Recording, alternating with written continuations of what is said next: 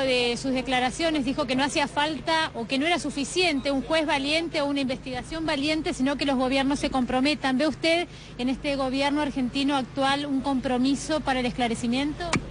Yo no quiero ser crítica con un gobierno que no es el mío y soy una invitada en un acto muy especial.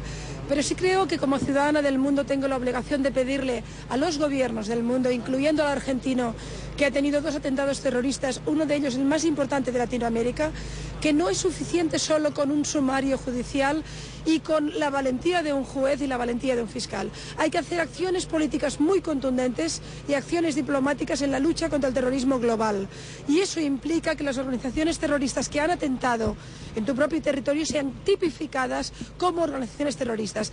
Hezbollah tiene que ser ilegal en Argentina, como ya lo es en muchos lugares de las democracias del mundo. No puede de ninguna manera ser una organización legal. ¿Cuál es su consideración con respecto al pedido que va a hacer el presidente Néstor Kirchner ante la ONU? Creo que es muy importante el pedido que hará el presidente Kirchner ante la ONU, porque la ONU demasiadas veces calla. La ONU es un organismo que nació para defender el derecho internacional, pero que hoy está siendo secuestrada por la mayoría de dictaduras que habitan en su Asamblea General. Y por tanto no está cumpliendo su obligación política, institucional y moral. En este sentido, que el presidente de un país que ha sido lacerado, herido por un atentado terrorista, que eh, vaya a la ONU y en la ONU eh, tome un compromiso claro en contra del país que organizó este atentado, del gobierno que organizó este atentado, es de una gran relevancia histórica, simbólica y sin ninguna duda internacional. Si hace Kirchner esto, si cumple su promesa, yo creo que todos los países del mundo libre vamos a aplaudirlo. Este momento internacional donde han habido eh, atentados en diferentes países es un momento tristemente oportuno para que los países que integran la ONU apoyen y respalden este pedido de Argentina. El gran problema de la ONU es que en su interior hay demasiadas dictaduras, muchas de las cuales se ríen de nosotros. Por tanto, es difícil, es un organismo que tiene muchas dificultades. Creo que desde planteamientos solidarios y progresistas tenemos que denunciar sus silencios. Pero a pesar de todo es una institución importante, prestigiosa. Como tal tiene que ser la tribuna de la libertad no la tribuna de las dictaduras, de las locuras, de los fanatismos. En este sentido, yo creo que la obligación política de un presidente democrático, de un país democrático, es alzar la voz en la ONU. Y desde luego en este momento donde el terrorismo internacional nos ha declarado la guerra a la libertad, a los países libres, y sin ninguna duda le, ha declarado la guerra al Islam porque el primer enemigo del Islam son los yihadistas islámicos y sobre, sobre todo matan a ciudadanos musulmanes. Hay que liberar al Islam de esta locura y al mundo de esta locura. Desde luego, desde mi punto de vista, Kirchner tiene solo hoy un compromiso con AMIA.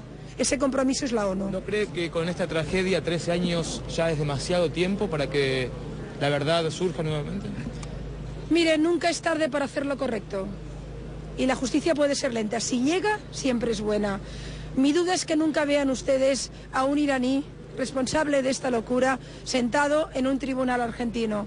Pero ya han llegado muy lejos. Argentina ha dado una auténtica lección al mundo de valentía en el tema de AMIA. Sorprendentemente, les digo con toda rotundidad y convicción de que nadie esperaba el sumario Nisman. Ha sido una grata sorpresa y ustedes hoy tienen a las víctimas mucho más acompañadas y a los asesinos menos impunes. Llegar a sentarnos en el banquillo lo dudo, porque Irán es un gobierno terrorista. Lo que no puedo entender es que haya un solo argentino visitando Irán.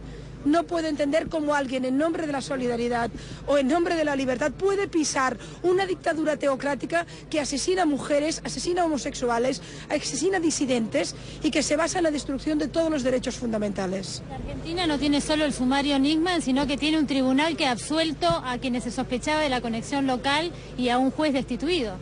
Es cierto, no solo tiene. Yo creo que Argentina está haciendo los deberes en materia judicial. Un país que a veces sorprende porque a veces da la impresión de que tiene una cierta crisis institucional, sin embargo, de golpe tiene instituciones que funcionan. Solo puedo aplaudirlo. En el sentido, tanto en la Fiscalía como en la Judicatura, se está haciendo muy bien el trabajo y yo creo que la gente de AMIA hoy está mucho más confortada. Muchas gracias, eh, muy amable. Las palabras de Pilar Raola, era realmente importante poder tener el testimonio de ellos porque es ver cómo nos miran de afuera, cómo ven eh, la investigación y el atentado a la AMIA desde afuera. Es la vicealcaldesa de Barcelona que hoy fue invitada a este escenario un escenario que privilegia a muy pocas personas, de hecho los funcionarios y hasta el propio presidente tienen que mantenerse al margen en un acto tan importante y por supuesto destacó la importancia de esta presentación, este compromiso del presidente para con los familiares de esta presentación ante Naciones Unidas con respecto a Irán y al corte de relaciones, que es lo que solicitaban aquí los familiares.